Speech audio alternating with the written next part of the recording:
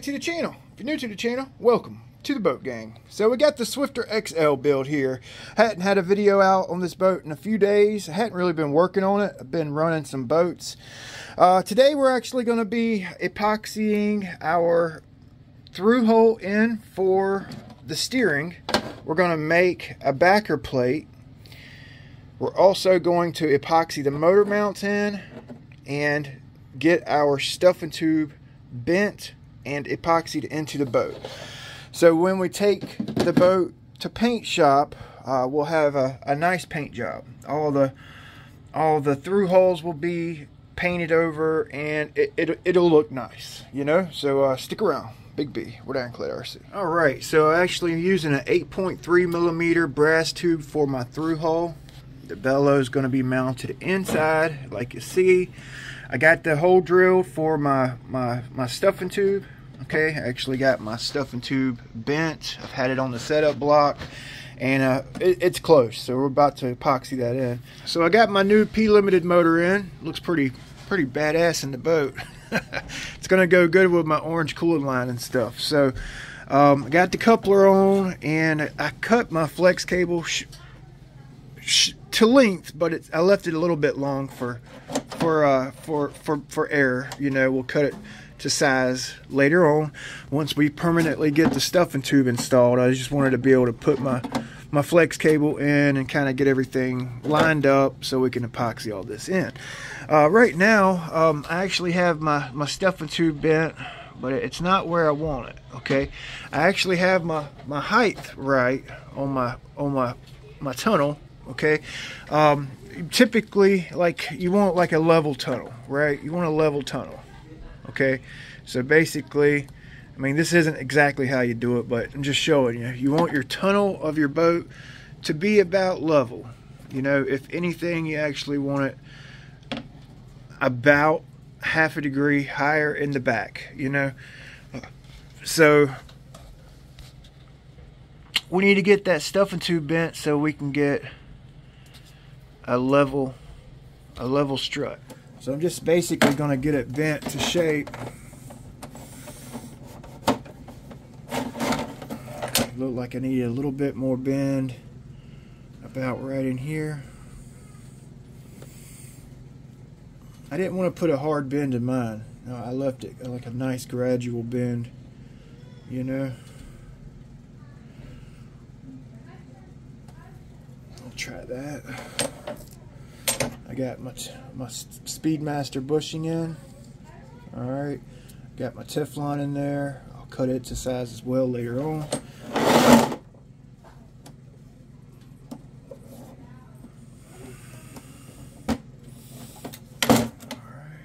So I got my motor where I want it. Okay, um, got my little gap here. Just bent that stuffing tube, and I don't think we're to have to do much back and forth because perfectly flat. You guys see that? It's perfectly flat on the setup board. My tunnel is basically level. It's actually 0.20 on the high side, like the back of the boat running a little bit high. So once this strut, you know, settles in, then it'll basically be new uh, level. You guys see that? That actually looks pretty damn good. I like that bend. No hard bend, just a nice gradual bend. Running that 0.150 with the with the liner there. My stuffing tube, it looks straight with the strut. Okay. Um, my strut is vertical. I, I, definitely need to put the two bottom screws in, but uh, I, I got nuts on there, so, so it's it's tight up against this, this transom. So I'm gonna mix up some 15 minute uh, medium cure epoxy from Bob Smith Industries and we're actually going to uh, just tack this into place. I've got this through hole hole cut perfect. It's like actually tight fitting. There's no gap forward or aft. It's like a perfect freaking hole through the hole. Stuff a tube through hole, epoxied in. I use some of this parts mounting tape to reinforce the through hole so when we go to bend or maneuver, you know, tune our boat, uh, the through hole will have a solid base And uh, when we go moving it around, we won't crack anything because the hull on this boat is super freaking thin. Now, I've actually been contemplating the past couple of days. Um, I cut this out. It would actually go about right here. It would be a piece of fiberglass, okay, piece of fiberglass woven cloth, and it would go under my batteries, the ESC, and the motor. That's it. To keep weight down, you know.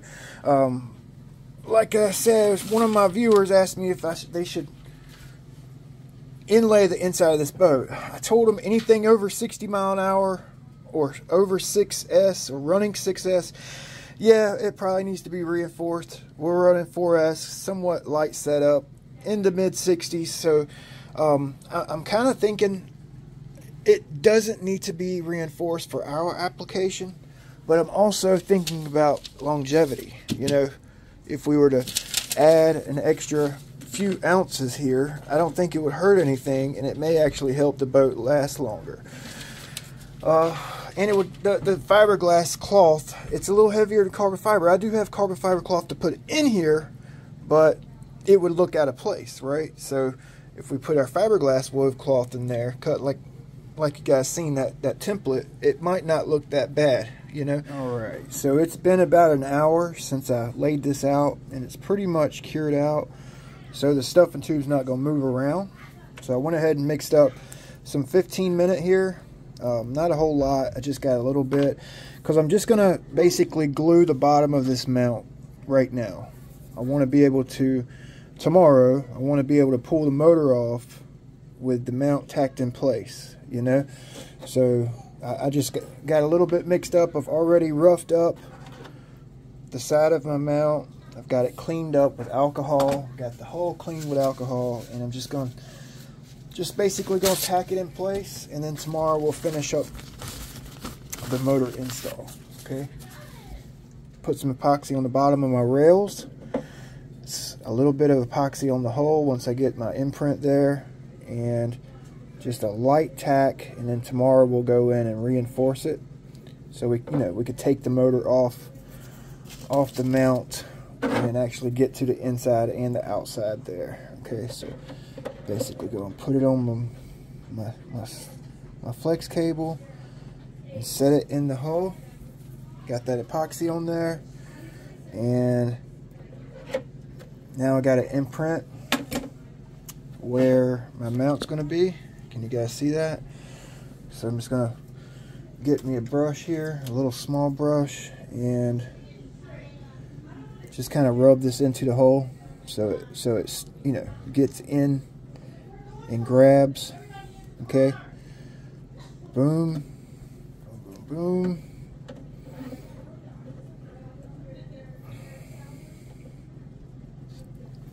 Like so. Got me a perfect gap. I got the, the motor angle right. And that should that should be on the money. Okay. And we'll clean it all up. Take the motor off tomorrow reinforced. That servo mount in, I got my motor mount in, reinforced. Stuffing tubes reinforced. The bottom looks really good, nice and clean, okay. And um, I got my through hole, through hole tube in. I don't know if you guys can see it. So I actually made me a template for the inside of my transom and I installed my through hole first. So whenever I put my, my chopped mat in the transom for reinforcement it will reinforce that through hole tube that 8.3 millimeter tube. So um, I'm gonna go ahead and lay this out. Yeah it's pretty simple pretty simple. Right so I got my mat laid down. Now I'm just gonna flatten it out. I'm going to use the rest of my epoxy to um, to epoxy in my backer plate. Since I have the boat stood up, be a perfect time to do that. Got that chop strand mat laid down, okay, actually turned out pretty good. I also have my turn fin uh, backer plate, nut plate, epoxied in. I put a little bit of chopped up fiberglass in the resin whenever I put that in. I put some oil on my on my screws. I drove my screws in, okay, And hopefully, hopefully, I don't have any issue getting those those screws out the backer plate because I I used some oil here. Yeah, yeah, getting there, getting there. About to uh, we're gonna put the boot on, get the servo mount installed, and I'll let so you. So it's actually like a few days later. Okay, like like I said, I'm taking my time with this build. Okay, got my through hole epoxied in.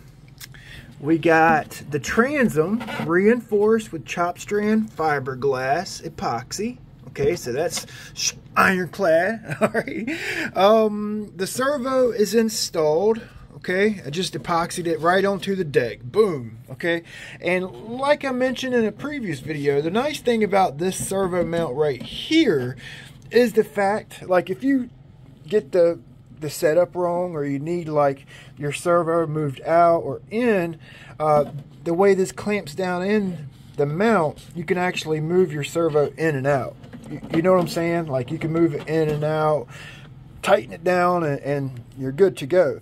So I got my, my servo arm on. I need to trim it to size. I'm not sure if I want to run the arm here or flip the servo over, run it forward. Kind of just want to check this um this servo, you know, make sure everything moves right before I disassemble sand and paint. Okay, just real quick the end of the video, just kind of finalize it on a positive note, I hope. um, so let's get this thing powered on. Where's the power button? This is a 90 that came into Blackjack V2. Damn, listen to how loud that motor is. Wow, I've never heard a motor that loud. Holy cow. That's crazy. Okay, so let's spool up the motor real quick. Okay, okay. No grease in the cable. All right, that sounds good. Do some uh, servo. First time hooking it up. I did, I did just check for center, but I have not actually like moved it around. So.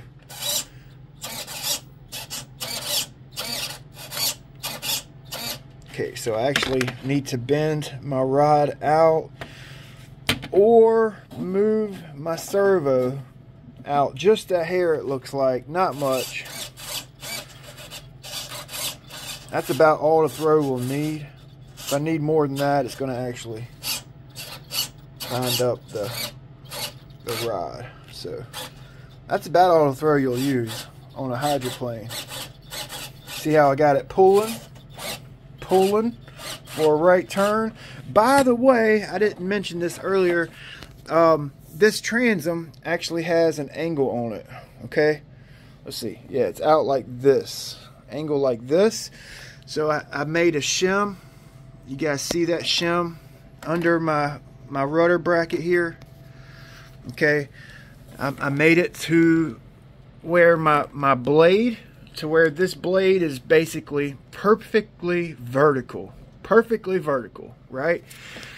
Because uh, it has that angle on the back, so I had to shim up the bottom to bring my rudder blade vertical.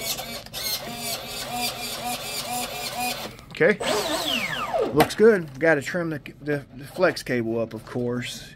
I got it cut long for error.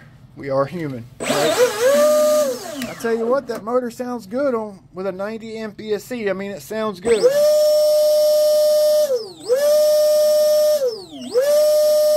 That's for us. I think it's going to be a fast little boat. I really do. I really do. So, uh, every, all we got to do now is install the, the ESC. I'm going to use Velcro for my batteries with jam foam under so I can run single and double. Okay, so yeah, yeah, she's coming along. She's coming along, man. I got the um, the backer plate, nut plate on, epoxied in. It's ready to go. We're going to wet sand this bad boy and start painting. Spirit of the Navy, let's go. Appreciate you guys watching. We'll see you next time.